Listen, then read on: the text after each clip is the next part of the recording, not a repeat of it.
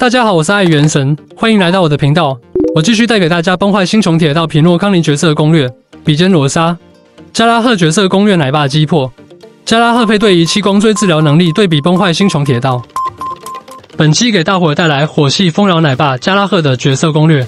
孙宠位竞争激烈，罗刹和霍霍两大现武丰饶在前，四星丰饶奶爸还有就业空间吗？优势又在哪里？加拉赫的普攻是两段单体攻击，一格削刃。最重要的是，释放大招之后，下一次的普攻会变为强化普攻，攻击段数变成了三段，削刃效率也变成了三格，直接就跟单体大招一样了。削刃能力非常恐怖，另外伤害倍率提高，还会给目标施加一个减少攻击的 debuff。加拉赫的战绩朴实无华，单体固定一千六的治疗量，不失生命和攻击属性。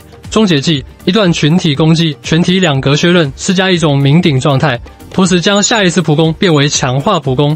天赋的这种鸣顶状态有两个作用，第一个是提高目标受到的击破伤害，属于易伤成狙，或许未来会出现打击破和直伤混合输出的主 C，加拉赫此时可能就会派上用场。第二个作用是类似罗刹结界，我方角色每次攻击目标后会回复六百四十点血量，解锁额外能力一后会将击破特工转化为治疗加成，百分之一百五十击破特工吃满，高达百分之七十五的治疗加成，大幅度提高加拉赫的治疗能力。解锁额外能力二后，释放大招能立刻对自己拉条百分之百，直接打出一套 AQA 的丝滑连招。灵活使用的大招也能增加一次急救奶和快速击破的机会。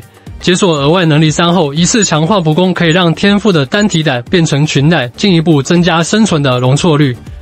治疗量对比：罗刹光锥选择四星等价交换，绳子选择充能或者攻击，加贺光锥选择谍影五阶的合物为真。内圈怪盗四件套。副词条有十个击破，面板就已经达到百分之一百五十一了。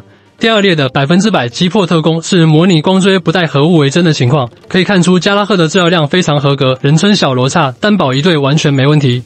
只是缺少罗刹的自动奶以及自身的天赋胆需要大招启动，即使你带其他光锥，只有百分之百击破特工，战绩治疗少四百，天赋治疗少一百六，也是可以接受的。此时你就可以带等价交换，此时恰好就这种功能性光锥了。削刃能力和击破伤害，加拉赫的强化普攻足足有三格九十点削刃，AQA 非常漂亮的一套数字三连，总共可以打出三十加九十加六十等于一百八十点。六格单体削刃可以直接将十二格韧性条的 BOSS 打掉一半。削刃能力很强，很容易抢到击破的机会，并且天赋还有击破伤害易伤。另外，我们也计算一下，在有火弱点的情况下，加拉赫的击破伤害到底有多少。可以看到，击破一个十二格韧性长度的敌人，击破伤害大概在三万左右，不是非常高。火击破的上限还是低了点，可以期待一下未来真正的物理击破 C。我看波提欧就很有这种潜质哦。负面能力，前面技能也介绍过了，加拉赫能够施加两个负面效果，强化补攻，可以施加单体减攻的 debuff，终结技可以施加群体的特殊 debuff，有击破易伤和攻击回血。最重要的一点是，这两个 debuff 都是必中的。没有那该死的基础概率设定，不需要堆效果命中循环和残点。加拉赫的能量上限是一百一十带充能神，开局一 A 即可充满能量。如果有一命，近战直接回二十点能量，只用一次普攻和受击即可移动充满能量。正常循环中大招后稳定接一次强化普攻，后面只要一 A 三动释放一次战绩即可充满能量。整个循环三度还能产两点，虽然比不上罗刹的全程普攻产点仙人。加拉赫的产点能力也是相当不错了。光锥方面，选择加拉赫当奶爸，我们就抛开三张五星丰饶光锥不谈，看看四星的选择。拥有专属卡面的四星光锥和物为真，会是大部分人的选择，直接在商店兑换就行。击破特工更容易毕业，还有自保能力。加拉赫自身有百分之百拉条，行动次数非常多，所以带等价交换也是不错的选择。但是这里有个百分之九十的人都不知道的知识点：黄泉的特殊能量机制始终稳定是等价交换的触发对象，所以加拉赫和黄泉组队，等价交换的随机性就更大了，每次都可能在黄泉身上发挥无效作用，这一点值得注意一下。光锥此时恰好增加效果抵抗，加拉赫自身行迹自带百分之二十八，一命甚至直接增加百分之五十的效果抵抗，非常的不要脸啊！再加上龙骨蝶影一的此时恰好就已经有百分之一百零四的效果抵抗，直接免疫所有的控制和 dot 效果，百毒不侵。另外，很多人想说的一张三星光锥凡希普空自拉条看起来非常合适，但实际上除开白值低的缺点外，加拉赫只要使用战绩就失效了。并且普攻加大招也有自拉条，那光锥的这次拉条也失效了，所以实际效果并不理想。退一步说，多移动早点放大，也不像霍霍那样的大招收益高。仪器方面，外圈一般选择怪盗四件套或者怪盗和钟表匠的二加二组合，击破特工没堆满影响也不大，治疗量差距很小。如果你副词条足够多，也可以怪盗二加过客二，进一步增加治疗能力。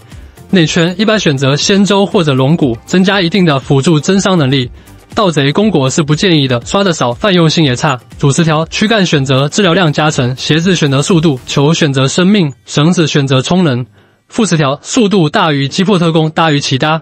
配对方面，罗刹能进的队伍，加拉赫都能进。自身有挂低 buff 的能力，所以也适合进入真理医生的队伍。能给自己回血的医生才是好医生，你说是不是这个理儿？然后就是黄泉姐的负面队了。如果你的存护角色给了另一队，或者没有宇宙市场趋势这张光锥，那么加拉赫进队也会是不错的选择。注意，此时光锥不要带等价交换，原因前面已经讲过了。加拉赫的星魂提升也很不错，点到二命就机制完整了。星魂一近战回能，开局凹受期可以移动一大。五十效果抵抗，让你直接解锁百抗奶爸，百毒不侵。星魂二战机解控，提高目标的效果抵抗，四星奶解控是必须的。星魂四大招造成的低 buff 延长一回合，真理队伍的负面效果，击破队的击破一伤都能维持的更久，天赋的奶量也更多。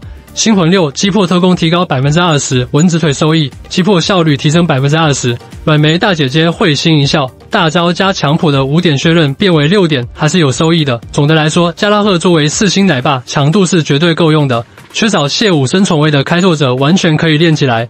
真理队和黄泉队缺少负面都可以进队的。记得关注再走哦。